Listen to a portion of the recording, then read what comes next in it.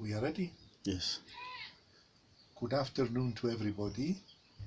Today it is a very special day for uh, ourselves because we have come all the way from Nairobi to visit uh, the Orthodox uh, uh, school of Saint Irene here in Jambini.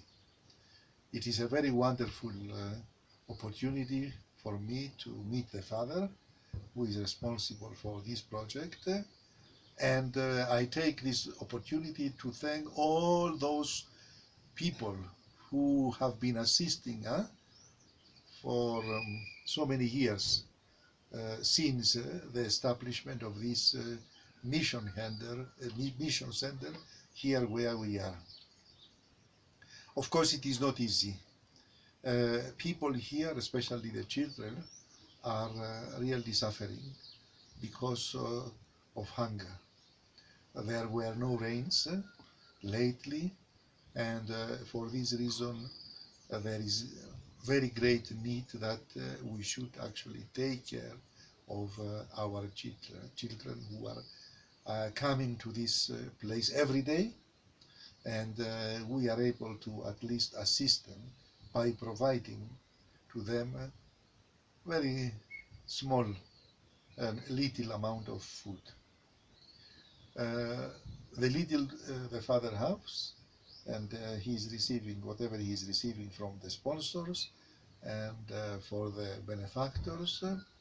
I think he's uh, trying to fulfill his not uh, his mission. It is not an easy mission. I know from my experience that uh, the needs are many. So I am requesting each and everybody who is listening to us now that uh, we should uh, actually uh, try to find ways uh, through our relatives, uh, through our friends, neighbors, to see that this work of the Father here at Saint Irene it really continues, huh?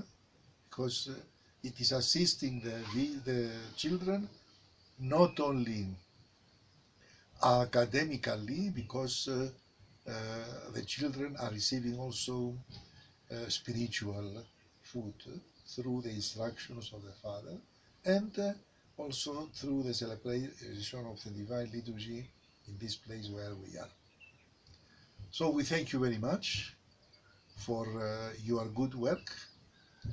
We thank God who is really blessing our work and uh, by the grace of God uh, we will uh, continue uh, to offer our services to the needy people, especially to the children. Thank you and may God bless you all. All right.